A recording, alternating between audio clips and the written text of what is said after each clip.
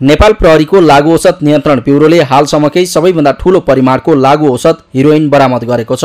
प्रहरीले दुई दिनको अपरेसनबाट इतिहासकै सबैभन्दा ठूलो परिमाणको अर्थात् एकाउन्न किलोग्रामभन्दा बढी मात्रामा हिरोइन बरामद गरेको हो।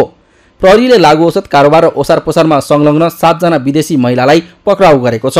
प्रहरीले बरामद गरेको एकाउन्न किलोग्राम हिरोइनको मूल्य एक अर्ब दुई करोडभन्दा बढी रहेको प्रहरीको अनुमान छ। अहिलेसम्मको अनुसन्धानबाट सातजना पक्राउ परेको छ एकाउन्न केजी बरामद छ छवटा ग्रुप छ यसलाई सञ्चालन गर्ने व्यक्तिहरू पाँचजना भेटिएको छ साउथ अफ्रिकामा। यति चाहिँ मैले भन्न सक्छु र अन्तर्राष्ट्रिय विमानस्थल त्रिभुवन अन्तर्राष्ट्रिय विमानस्थलको कुरा गर्नुपर्दा हामी विभिन्न निकाय युनिटहरू छौँ समन्वय गरेर काम गर्छौँ। प्रहरीले त्रिभुवन अन्तर्राष्ट्रिय विमानस्थलमा रहेका विभिन्न निकाय तथा इकाइहरूसँगको समन्वयमा उक्त एकाउन्न किलो हिरोइन र ओसार पोसारमा संलग्न सातजना महिला पक्राउ गरेको जनाएको छ। उन्तिस गते आएको र तिस गते पक्राउ परेको। दुईजना व्यक्ति चाहिँ सँगै आएको थियो जुन सोह्र केजी फेला परेको थियो। सिबिसी भन्ने र मुरेल भन्ने व्यक्ति यो चाहिँ एउटै ग्रुपका हुन्।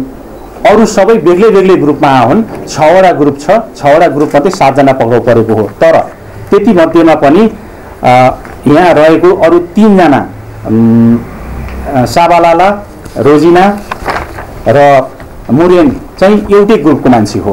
उनीहरूलाई सञ्चालन गर्ने मान्छे उनीहरूलाई गाइड गर्ने मान्छे एउटै फेला परेको छ। नेपालभित्र भएको लागु औषध बरामदको यो त प्रतिनिधि उदाहरण मात्र हो। यस अघि पनि देशभर हरेक दिन जसो कहीँ न कहीँ लागु औषध कारोबारीहरू पक्राउ पर्ने र उनीहरूको साथबाट लागु औषध बरामद हुँदै आएको छ।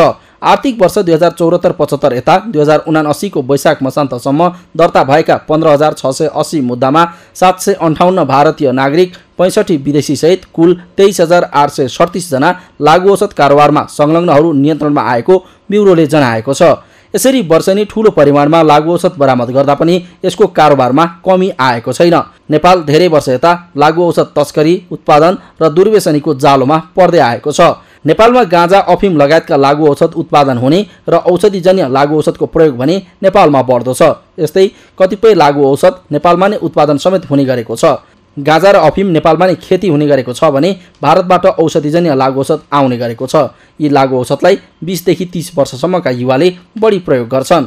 सगरमाथा टेलिभिजनका लागि क्यामेरामा प्रताप लामाका साथमा पुष्कर खतिवडा काठमाडौँ।